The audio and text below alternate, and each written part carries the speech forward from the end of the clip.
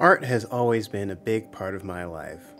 Whether it was watching my mother make art as a child, or watching cartoons and anime as I grew up, or later making art myself, art has always been a part of me. Though I thus far have focused on 2D art, whiteboard art to be specific, I've wanted to move into the realm of animation for a long time. I have artist streamer friends who are already adept at creating 3D models, and that style has just been interesting to me.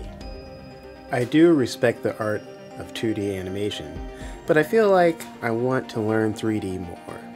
After looking through the different online programs offered at Full Sail, computer animation seemed like the right fit for me. With Pete Banstra as the program director, I'm sure I'll be in good hands. There are a plethora of programs that I will utilize throughout the course of my schooling at Full Sail. Those include the Foundry Nuke for compositing and effects, Synth Eyes for motion tracking, ZBrush, Maya, and Blender for modeling and rigging, and Adobe Creative Cloud Suite, among other things.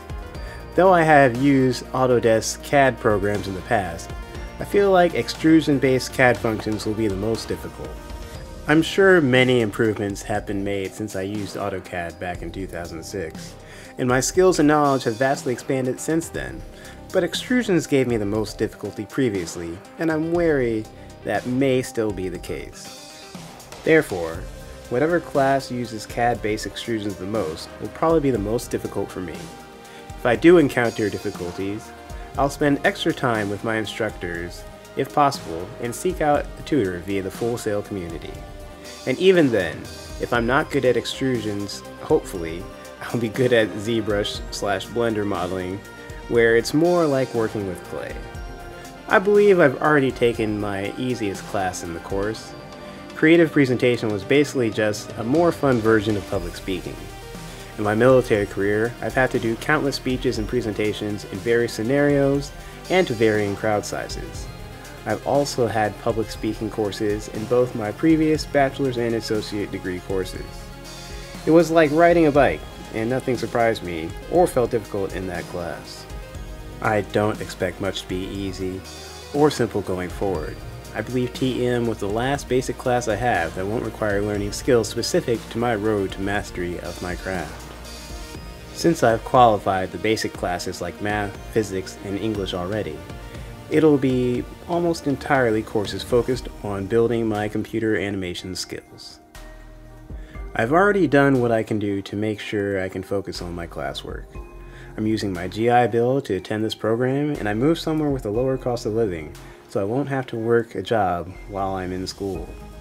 Doing well in my school will be my full-time job, allowing me to put my all into getting good at what I learn. As of right now, I think I want to specialize in character rigging and motion tracking animation. I know plenty of people already who can make amazing 3D models. I've always been more of a 2D physical media person when it comes to the art I create.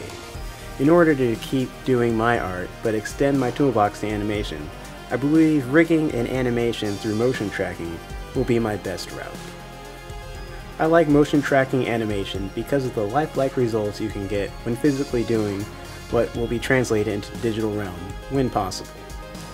I'm looking forward to beginning my computer animation journey and finding where it leads. This is the way.